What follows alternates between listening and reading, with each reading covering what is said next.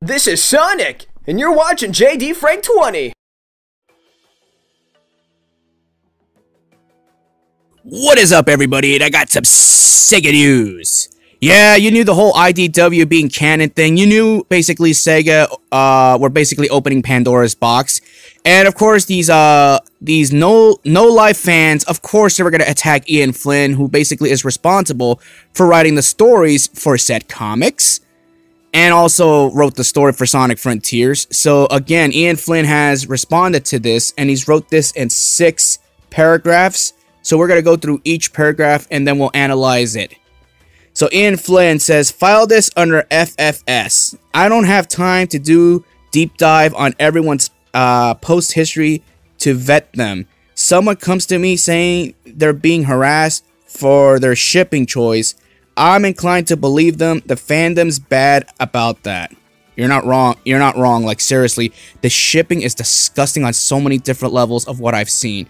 And with Sonic Prime, obviously, episode one, season, uh, season two, obviously the final three minutes of that of that episode, you got so much fucking material right there for one of the most disgusting fandoms ever, being Sonadow. I can't fucking believe that this garbage. I'll get more into in my final analysis in a moment. I just want to add to this conversation. All right, let's move on to the second second uh, statement right here. Fan stuff is largely harmless. Some rando shipping of OC with a title character is fine. Shipping Night upon any pairing is fine. It's not inherently a political or moral statement. The fandom is bad about this too. SonAmy, Sonadow, Wizangle, I don't care. Go nuts, have fun. Wow, Ian, when, when to lose some integrity right there. How the hell can you support a fandom like Sonadow? I understand you're saying, oh, it's not canon, let them have their fun. It's fucking, it's a fucking disgusting fandom, dude. What the hell's wrong with you? Have some fucking integrity at least. Ugh, but again, I mean, it, it's Ian Flynn here. I mean, he's basically just making this fluff piece just to appease everybody. Again, the problem with this, Ian, is that you're basically appeasing the toxic fans just so they can stop harassing you, but then you're going to have real legitimate fans who use logic trying to say, why are you doing this? Like, just stop. Just ignore these people. That's all you gotta do. Just stay the course, man. Focus on your work. Stop appeasing these fucking toxic fans. Look at what Mori Kishimoto did. He tried to appease them, and look what happened at the end. Jesus, man. Alright, number three. Tangle and Whisper aren't officially lesbian.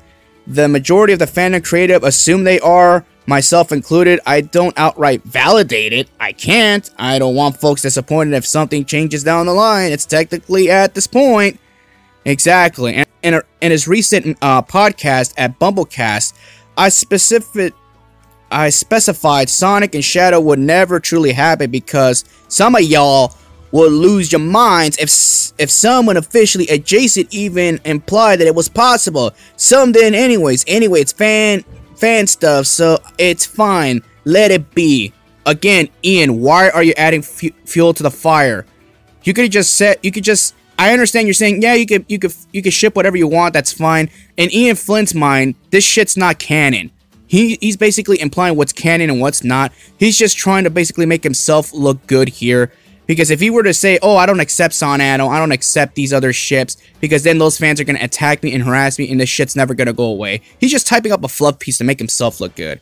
And the original tweet is, Ruffled Feathers remains university true. If you encounter someone being awful, report it, black, uh, block them. Do not engage, and calm down about the cartoon animals are snogging for love. Yeah, here's another thing, Ian. Why did you just ignore this? Just ignore the fans, the detractors. That's all you gotta do. Simple as that. Follow up. I want to stress again, most of the fandom is great, creative, passionate, engaged. Y'all keep on keeping on.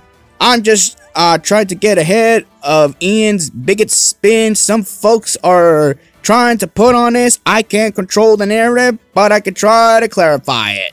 That's basically his last statement right there. I understand you know, I understand Ian Flynn and his fellow writers and SonAmy fans have been getting harassed and bullied by fans of gay and lesbian ships because Sonadow and Tangle Whisper aren't canon in IW, IDW Sonic or the games. Well, yeah, that's because Sega right now, you're probably saying, like, why are we seeing so much SonAmy moments? Because they're marketing the hell out of them, that's why. You have to realize that SonAmy's been getting so much attention for the last year. Haven't you noticed? Read between the lines, people. Sega's never gonna canonize all your other shitty fa fan fictions. They're not gonna canonize Sonadow, not even for Pride Month.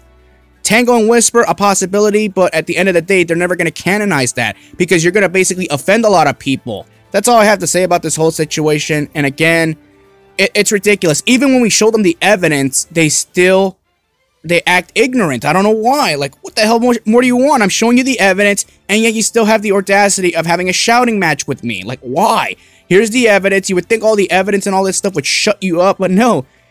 You know, seriously, these fucking toxic fans are like rabbits. They multiply. What the fuck? My god, man, I can't stand the fandom sometimes. But then again, I do enjoy fucking putting them in putting them in their place. Everyone, let me know what y'all think about this, and I gotta go. Peace out.